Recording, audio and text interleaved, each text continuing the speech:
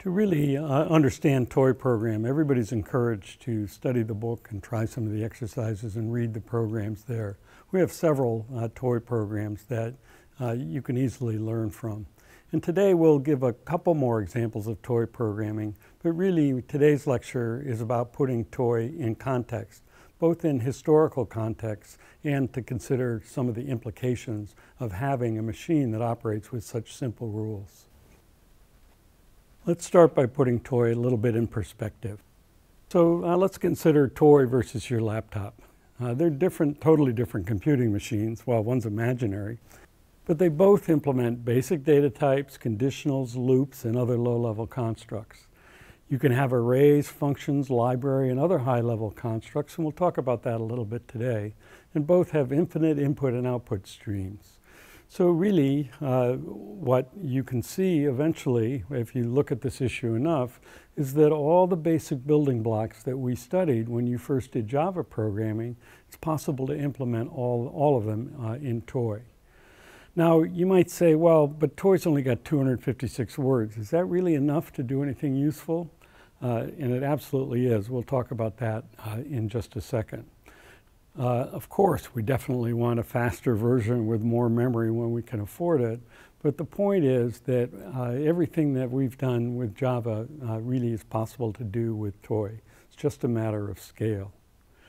So let's talk about this issue about 256 16-bit words. That'd be 4,096 bits of memory. Is that really enough to do anything useful? Uh, so here's an example from uh, an old computer from the 1960s, 50-year-old computer. Uh, in, in those days, uh, every bit was a physical piece of metal. It had three wires running through it. Uh, so a thousand bits was something that was uh, difficult and expensive to produce. But this is an actual 1,000 bit memory. If you had four of those, you'd have 4,000 bits of memory. Is that enough to do anything useful? Well, actually it is because this thing is the memory from the Apollo guidance computer uh, that got men to the moon and back. Uh, here's another example. Uh, this is an experimental computer at MIT. It's got more bits. It's got 24,000 bits. And this was earlier. This was uh, in the late 1950s. Uh, and people were using computers like this, like Toy, to do biomedical experiments and all sorts of other uh, experimentation. Uh, this is a gentleman named Wes Clark in the early 1960s, and I put his picture up because uh, his son, Doug Clark, uh, is my colleague uh, and has taught this course many times. So uh, let's look at this even in more detail. So 4,000 bits of memory. So actually, if you consider the contents of the memory registers in PC at a particular time, uh, we talked about this at the beginning. It provides a complete record of what a program has done, and it also completely determines what the machine will do next. Toy's a deterministic machine based on uh, just these bits of memory. And if we count up the total number of bits uh, involved, well, actually, since we use the last location for standard input, there's 255 times 16 bits for memory. Since register 0 is always 0, there's 15 times 16 bits for the register uh, and then there's the PC. So there's a grand total of 4,328 bits.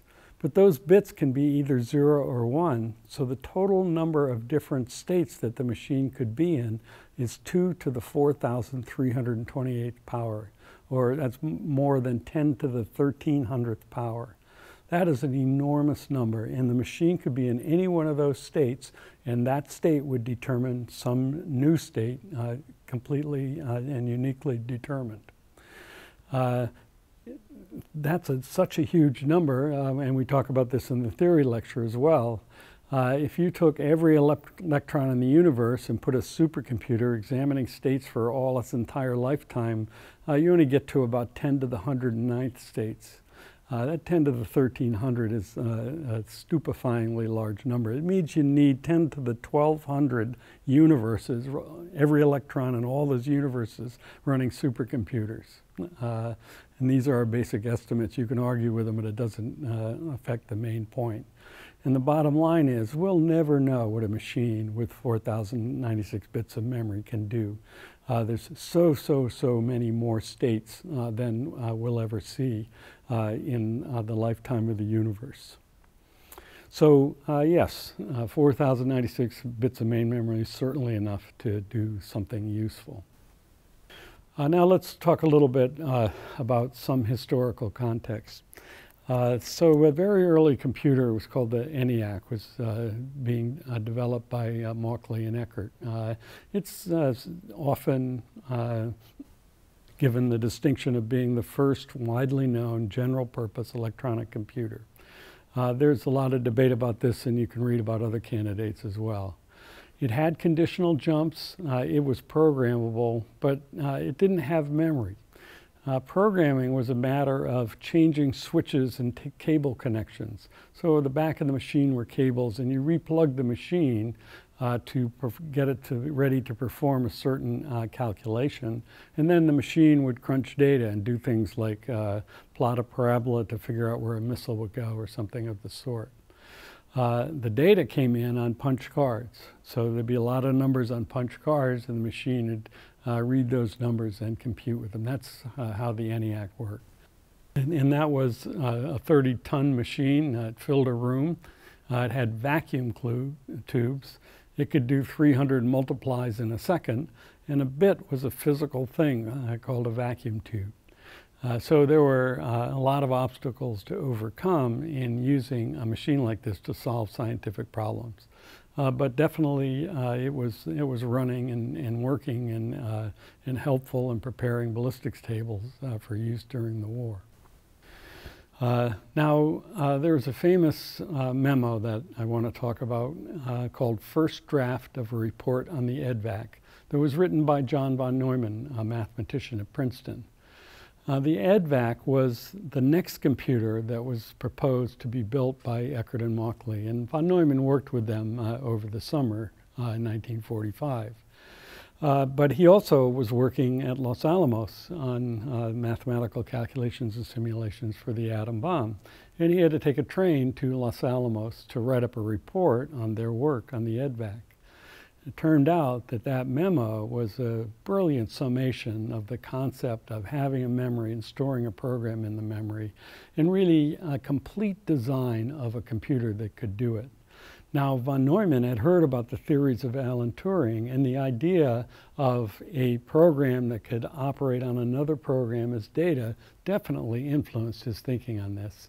And it's influenced the design of every computer since uh, reading this memo, uh, particularly after you've done with the next few lectures where we talk about uh, designing and building such a machine, uh, it's quite striking how much is in, in this memo uh, that we use uh, regularly today, and every computer does. and so the question of who invented the stored program computer, there's really a fascinating controversy about that. Uh, so Eckert and Mauchly had discussed the idea before von Neumann arrived on the scene, had discussed it with von Neumann uh, in their uh, joint work uh, when talking about the design of the Ed EDVAC. Uh, but von Neumann wrote everything up, and he was on a long train ride, and he had uh, every uh, part of what he knew at his command, uh, including the amazing theories of Alan Turing. He was in a unique position to put it all together, and that's precisely what he did. Uh, now, uh, when uh, von Neumann arrived in uh, Los Alamos, a young Lieutenant Herman Goldstine circulated the draft because he could see uh, what an amazing document it was, and there was a lot of interest. Uh, but the public disclosure of that draft of the first of the report on the EDVAC meant that that Eckert and Mauchly could not patent their design, and of course they were not very happy about that. Uh, von Neumann never specifically took credit for the idea of stored program computing, but he actually never gave credit to others uh, either. Uh, so we're all going to have to make up our minds on this. Uh, another example, just as an indication of the impact of von Neumann's menu, memo, just uh, uh, not very long after the memo was published, Maurice Wilkes in England built another machine called the EDSAC, uh, and that one had uh, lots of characteristics very uh, similar to the machines we use today. The data instructions were loaded in binary. You could load programs, not just data, into the memory, and you could change the program without rewiring. And those are all characteristics that we depend on, and we'll come back to this uh, later in this lecture. Uh, that machine had uh, 512 17-bit words, uh, not so different than TOY. Uh, two registers, 16 instructions. The input was paper tape. Uh, the output was not paper tape, it was a teleprinter. and there, a bit was a different kind of device, not a vacuum tube, but still not that much smaller. Uh, and this thing came into existence quite quickly uh, because von Neumann's memo so beautifully laid out the blueprint of what needed to be done. So, uh, and in fact, the architecture, the basic architecture of the stored program computer has been the basis of nearly all computers since the 50s. Uh, so uh, all the things that we use, your phone, uh, server farm, PC, uh, and toy and the old computers, all had this basically the same design that we're going to be looking at in the next couple of lectures. Uh, the practical implica implications of a stored program computer is that we can download apps. When you download an application into your phone, you're loading a program into the memory of your phone. Seems so uh, straightforward and natural today, but remember the, uh, the first computer didn't have that capability. Uh, the other thing is we can write programs that make programs as output. That's what compilers and interpreters are and many, many other uh, types of programs that we'll talk about. Uh, and you can also write programs that take programs as input and you can simulate other machines. That was Turing's uh, brilliant concept. Uh, so these implications are very profound as we discuss in a lot more detail in the, in the theory lectures. With TOY, you can solve any problem that any other computer can solve, but you also have the limitation that some problems can't be solved by any computer at all.